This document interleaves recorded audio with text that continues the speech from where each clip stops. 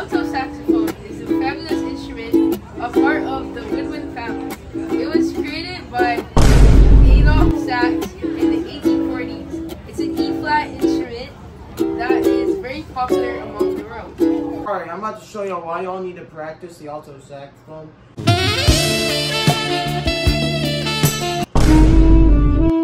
Now this is me back when I'm done practicing.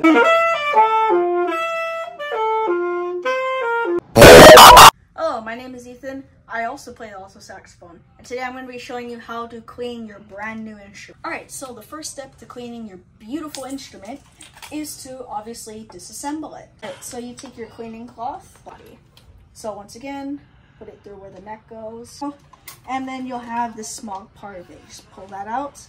And then you just clean through, like so.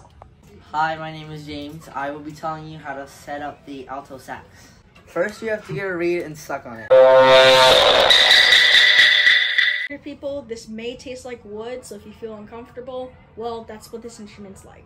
When you're done, put it on the mouthpiece and then you can start playing.